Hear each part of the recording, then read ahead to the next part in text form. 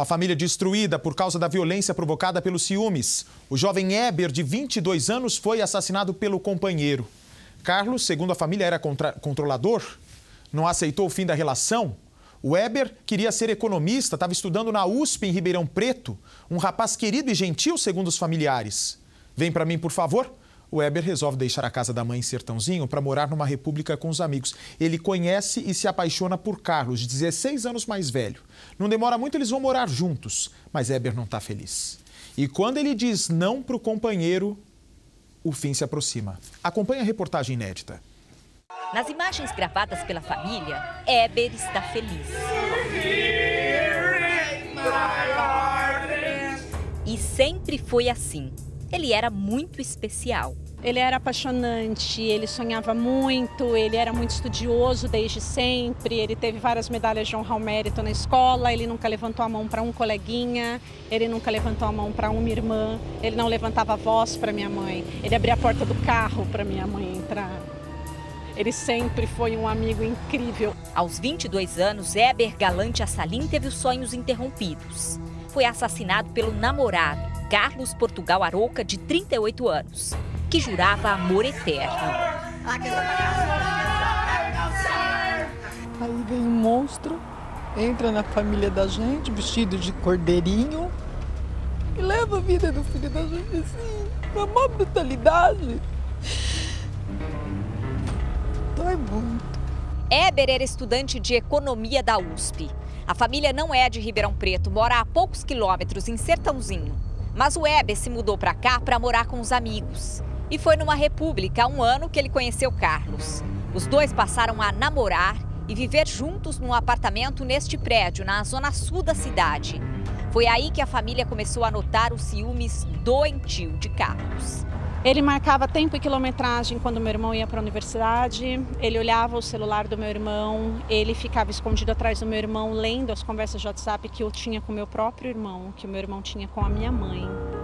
Ele não deixava o menino ir no barbeiro sozinho. Ele parecia uma babá de uma criança de um ano.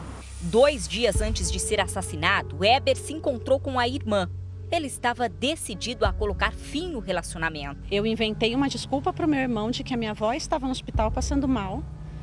E como a minha avó não sabia do relacionamento deles dois, então o Carlos não poderia ir junto para lá. Foi um jeito que eu encontrei de fazer o meu irmão ir sozinho para casa da minha mãe.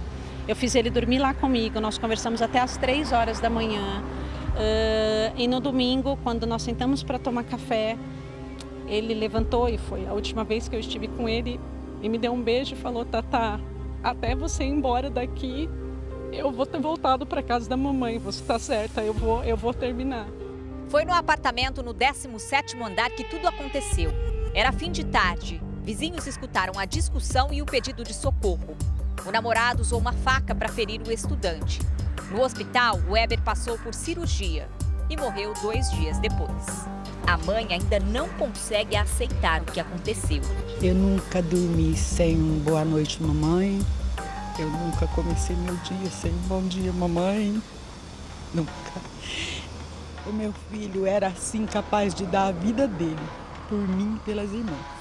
Não bastasse tudo o que aconteceu, a família não conseguiu entrar no apartamento para pegar as coisas do Eber, roupas, objetos pessoais e até documentos do estudante.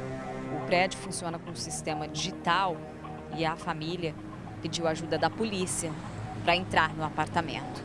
Hoje eles vieram até aqui para conversar com o síndico do prédio e ver o que pode ser feito.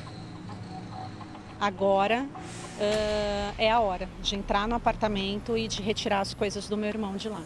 A prisão do assassino hoje é o único desejo da família. Ele é um assassino, ele é um doente psicopata, ele precisa ir para a cadeia. Testemunhas do próprio prédio, funcionários do próprio prédio relatam que por tudo que aconteceu, a intenção dele era ferir o meu irmão, trancar a porta, ir embora e deixar o meu irmão morrer sozinho dentro do apartamento. A irmã mais nova de Eber tem deficiência auditiva. Mariana se expressou do jeitinho dela para lembrar do irmão. Fico muito triste, eu chorei muito. Por que Deus permite? Por quê? Eu não acredito. Estou muito triste. É porque os homens que são responsáveis para mudar a legislação, para proteger gente como Eber, para proteger pessoas que caem nas mãos dessas pessoas bandidas que se disfarçam de companheiras, de companheiros, precisa ter uma legislação que faça com que o assassino no Brasil pense duas vezes antes de agir. Não adianta você ficar tirando a vida das pessoas e não ter uma demonstração de que aqui se faz, aqui se paga. Da mesma maneira que em diversos tipos de, de infrações de trânsito, como o Brasil melhorou nas condições das estradas, de acidentes de carro, depois que começaram a colocar a mão no bolso do brasileiro quando passa acima da velocidade ou quando começa a infração. Quando a pessoa aprende uma medida educativa, aí ela pensa duas vezes. Agora, matam cinco anos, seis anos depois estão soltas